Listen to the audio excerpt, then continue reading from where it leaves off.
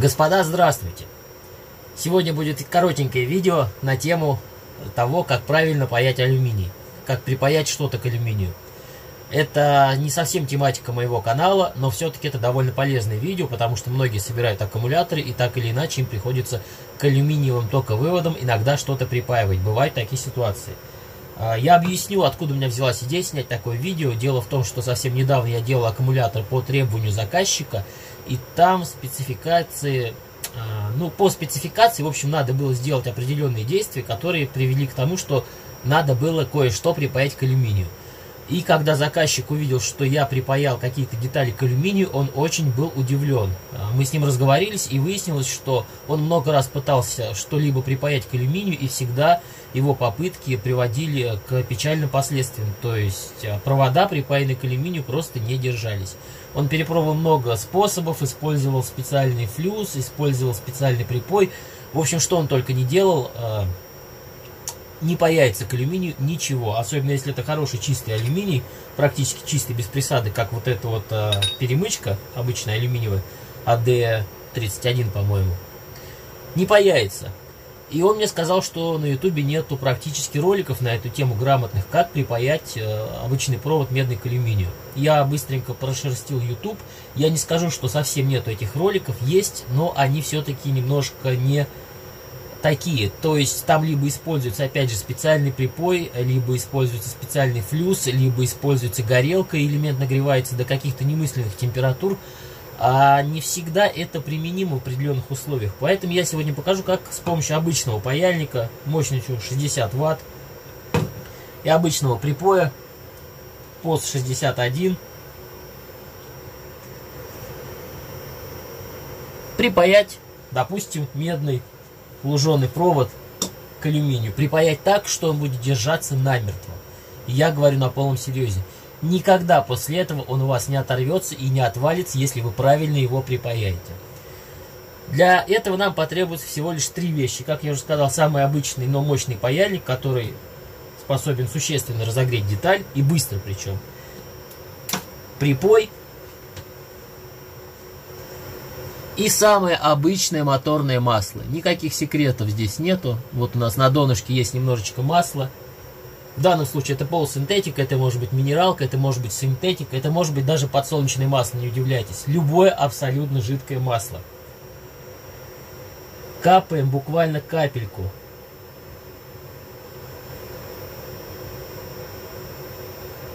О, переборщил.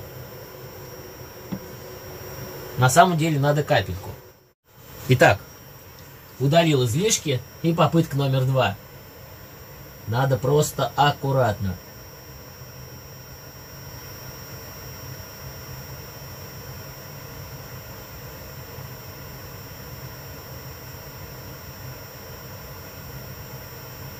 Вот то, что надо. Капля, две капли масла.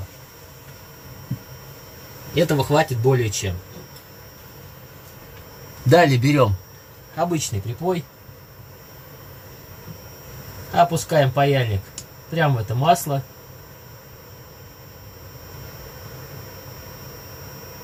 Плавим требуемое количество припоя. Да, масло будет гореть, запах, конечно, будет неприятный. Но это, в общем-то, не смертельно. Немножечко ждем, пока у нас разогреется деталь буквально несколько секунд. И движениями вперед-назад пытаемся залудить место будущего припоя. Я думаю, те, кто паяли алюминий хоть раз в своей жизни, знают, зачем требуются такие движения. Так, вам там видно? Нет, я рукой не загораживаю. Ну а те, кто никогда не паяли алюминий, этого могут и не знать. Так, паяльник довольно мощный. Существенно разогревается, поэтому для того, чтобы деталь вам не загораживать рукой, я ее буду придерживать отверточкой. То, что я сейчас делаю на видео, может вам показаться довольно сложным, но поверьте, это не так. Если делать все грамотно, не на камеру, а быстро, и когда руки у тебя уже на это дело наточены, то все это действие занимает не более одной минуты. Деталь периодически можно охлаждать, если она перегревается, если паяльник у вас сильно мощный.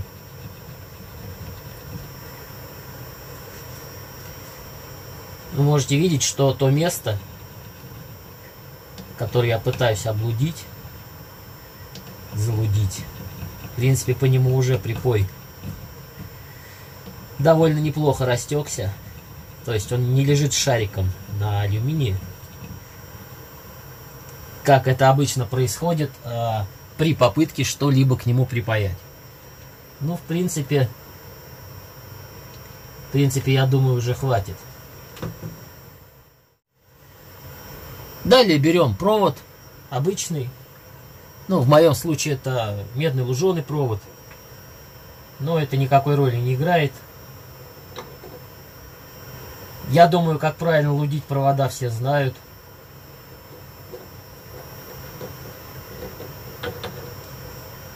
Никаких пояснений тут не требуется. Но все-таки покажу, раз уж делаю. Тот же самый припой. ПОС 61. Можно брать более тугоплавкий, ПОС 40. Это вы уже на свое усмотрение. Смотрите. Я использую 61, потому что я часто паяю платы. Часто паяю БМСки. Там идет пайка на плату. Поэтому тугоплавки припои не используются. Иначе можно плату перегреть. Если бы я паял к перемычке постоянно бы, к алюминиевой, конечно, я бы использовал сороковой. Но еще раз говорю, разницы по большому счету никакой. Хорошенько лудим провод, чтобы он у нас припаялся на совесть. Фу! При пайке всегда используйте вытяжку. Настолько все это вонючее и вредно для здоровья, для вашего. Далее. Сюда никакой припой не требуется. О, никакой флюс. Провод залудили. Ну и далее, как обычно, как к любым другим деталям, мы паяем. Делаем все то же самое.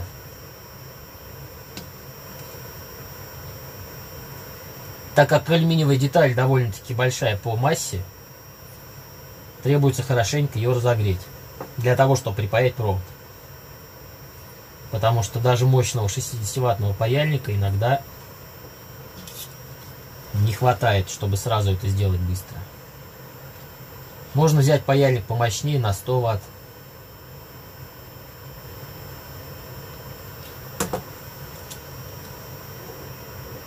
Если какие-то моменты руками загораживаю, я извиняюсь, ракурс не совсем удобный. Но иначе не получается.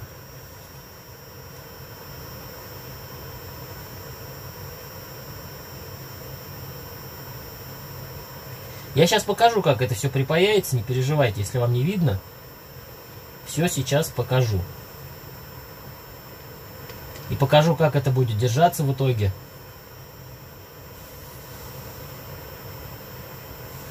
Я, конечно, тороплюсь, чтобы видео получилось не слишком длинным. Если бы я это делал для себя, а не для видео, все это было бы более аккуратно, более длительно бы, но более надежно. Да, вроде припаялся. Пускай немножечко остынет.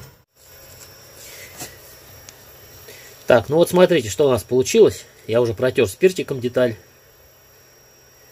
Остатки Флюса отмыл.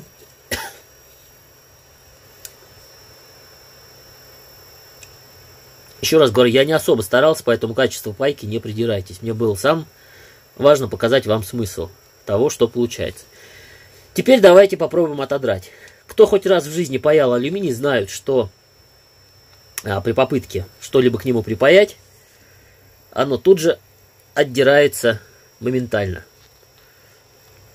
Я специально зачистил оплетки больше, чем требуется для того, чтобы удобнее было отдирать, потому что она скользкая съезжает. Я сейчас пытаюсь отдирать со всей силы, клянусь, я не могу. Вы видите, что провод отстал от перемычки ровно до того места, докуда я паял. И дальше само место припоя, вот эта вот полоска, вот она идет ровная. Я сейчас даже отвертку возьму, чтобы было удобнее показывать. Само место припоя, вот эта вот ровная полоска, как вот я тер паяльником, здесь у нас припаян провод. Я ее не могу вот, оторвал. Провод оторвал от того места, куда он припаян. А сам провод остался припаянным дальше. Он не оторвался. Дури у меня в руках много, да. То есть я спокойно могу оторвать такой провод. Руки у меня, ну, многие на видео видели. Но я не могу оторвать, как бы я ни старался, припаянную часть провода от алюминия. Такой вот нехитрый, но очень действенный способ. Поэтому пользуйтесь и не благодарите. Лучшей благодарностью с вашей стороны станет лайк под данным видео. Ну и также можете поделиться данным видео со своими друзьями. Я думаю, многим в этой жизни приходится периодически сталкиваться с необходимостью что-либо припаять к алюминию, и многие люди мучаются. Если они будут знать этот способ, у них таких проблем никогда возникать не будет. Спасибо, что посмотрели данный видеоролик. Как я уже сказал, если он вам был полезен, ставьте лайк, подписывайтесь, если хотите, если вам было интересно. Всем большой удачи, всем пока.